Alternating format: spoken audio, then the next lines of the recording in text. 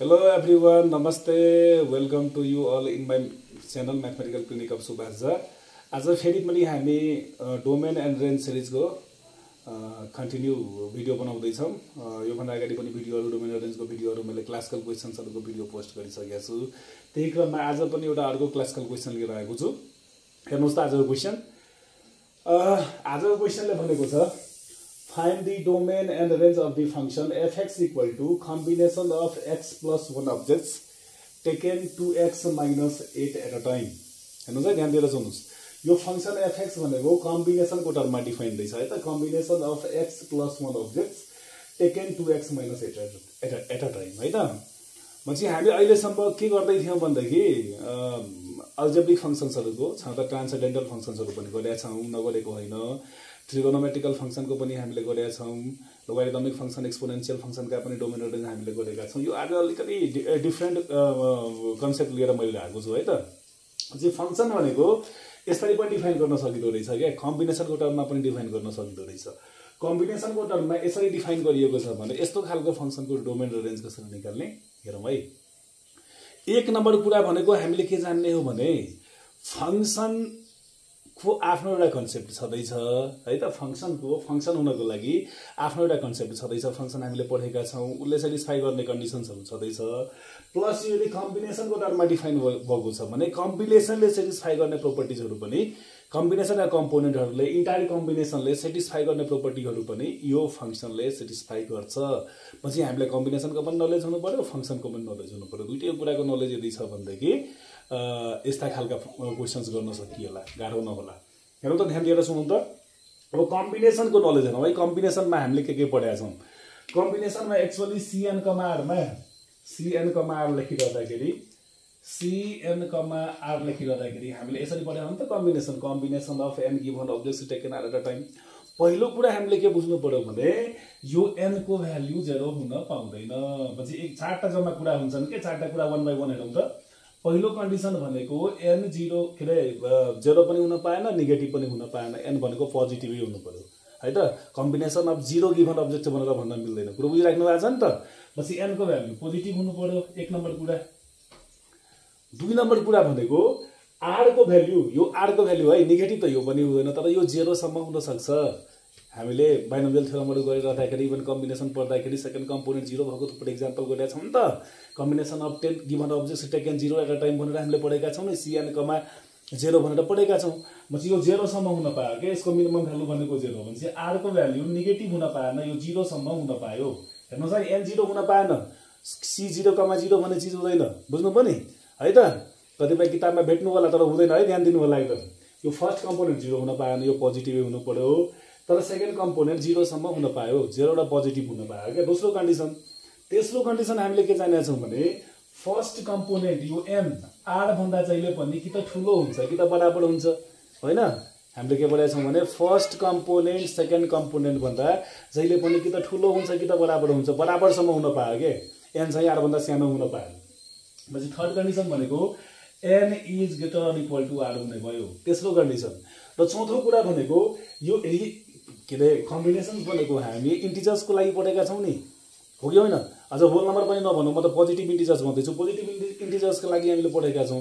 भनेपछि यी सबै के अरे यहाँबाट आउने एक्सहरू कस्तो हुनु पर्दो रहेछ त? पोजिटिभ इन्टिजर हुनु पर्दो रहेछ। कस्तो हुनु पर्दो रहेछ?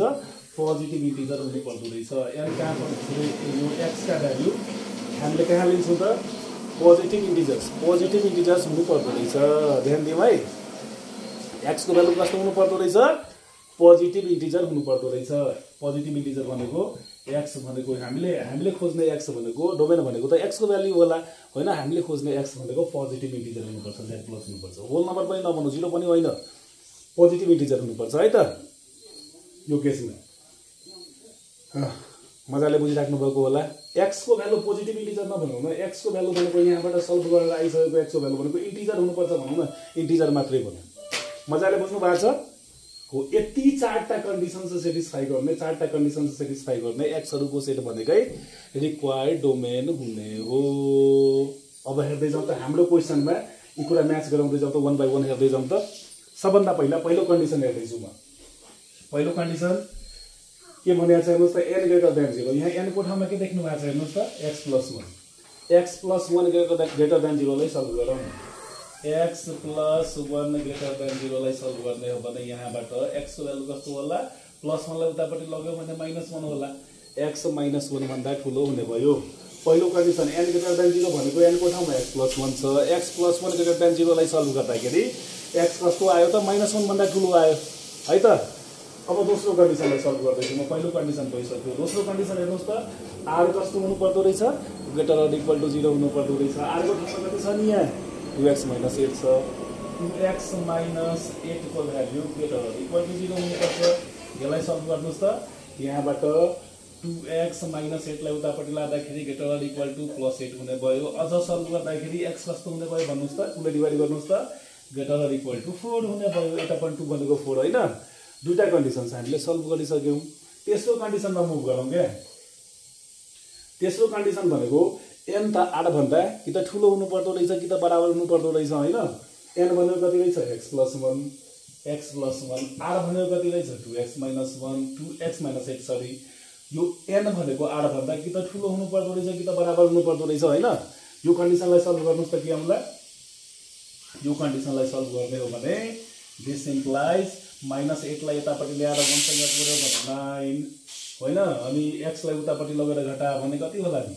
टु एक्सबाट एक्स घटायो भने एक्स पछि एक्स भनेको नौ लगाइ त नौभन्दा सानो हुनुपर्छ। नौ लगाइ त नौभन्दा के हुनुपर्छ? सानो हुनुपर्छ। है त त्यसो कन्डिसनबाट के आयो? एक्स भनेको नाइन लगायत नाइनभन्दा सानो हुनुपर्छ। मजाले बुझ्नुभयो? हामीले तिनवटा कन्डिसनलाई डिल गरिसक्यौँ। यो तिनवटा कन्डिसनलाई पहिला रियल लाइनमा राखिरहेर त कस्तो हुँदो रहेछ। रियल लाइन कोर्दैछु म। ध्यान दिएर हेर्नुहोस् है यो। Real line कोर्दैछु। रियल लाइनमा कतै जेरो होला माइनस वान होला। माइनस टू होला वान होला टू होला थ्री होला फोर होला फाइभ होला सिक्स होला सेभेन होला एट होला नाइन होला। ए कति कति होइन? सबै लेखेर साध्य छ र रियल लाइन कोर्यो अब फर्स्ट कन्डिसन हेर्नुहोस् त फर्स्ट कन्डिसनले के भन्यो?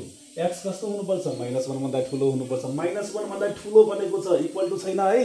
ध्यान दिएर हेर्नु होला यहाँ। एकदम विचार गर्नुपर्छ नि। माइनस वानभन्दा ठुलो। माइनस वान लिन पाइँदैन। यहाँ मैले गोलो लगाइदिइसकेँ माइनस वानभन्दा ठुलो भनेको यो। एक्स यहाँको हुनुपर्छ फर्स्ट कन्डिसनले यो भन्यो सेट गरेको रिजनमा हुनुपर्छ सेकेन्ड कन्डिसनले के भन्यो त? एक्स भनेको चार लगायत चारभन्दा ठुलो हुनुपर्छ। यहाँ इक्वल टु पनि छ है। चार लगायत चारभन्दा सानो ठुलो क्या चार लगायत चारमा यो यस्तो डार्क सिम्बल लगायो भने चार पनि छ यसमा। चार लगायत चारभन्दा ठुलो। चार लगायत चारभन्दा ठुलो भनेको यो हो। मजाले बुझ्नु भएन? अनि यो थर्ड कन्डिसन हेर्नुहोस् त। के भनेको छ? एक्स भनेको नौ लगायत नौभन्दा सानो। नौ लगायत नौभन्दा सानो भनेको यतापट्टिको हो नि त। यो रिजन हुँदो रहेछ। अब हेर्नुहोस् है सबैको साझा बुझौँ त। यो चार हेर्नुहोस् है पहिला माइनस एकदेखि उतापट्टिको चारदेखि पनि उतापट्टिको दाहिनेपट्टिको तर नौभन्दा सानो यो सबैको साझा भनेको यो रिजन होइन। यो रिजन हो कि होइन? मजाले बुझ्नुभयो होला। यो माइनस वानदेखि उतापट्टिको चारदेखि उतापट्टिको नौदेखि यतापट्टिको गर्दा सबैको साझा हेर्ने हो भने त यही रिजन छ नि त। चार लगायत चारभन्दा ठुलो नौ लगायत नौभन्दा साना। मजाले बुझ्नुभएको छ? र त्यहाँ मध्येका पनि चौथो कन्डिसन त के थियो? इन्टिजर्स है त? त्यहाँ मध्येका पनि यहाँ त रियल नम्बर त कति छन्? अनगिनित छन् होइन? इन्फाइनेटली पनि छन्। रियल नम्बर होइन कि? त्यहाँ मध्येका पनि इन्टिजर्स लिने हो। त्यहाँ मध्येका इन्टिजर्स के होला हेर्नुहोस् हेर्नुहोस् त। म माथिको मेटलहरू लेख्दैछु। त्यहाँ मध्येका इन्टिजर्स भनेको चार पनि छ हेर्नुहोस् है। चार पनि चारभन्दा ठुलो पाँच पनि पाँचभन्दा ठुलो छ पनि छभन्दा ठुलो सात पनि सातभन्दा ठुलो आठ पनि र नौ पनि। नौमा पनि डार्क सर्कल छ नि त नौ पनि है त। This is the required domain domain of our function f हामीलाई चाहिएको डोमेन भनेको यही रहेछ मजाले बुझ्नुभयो होला।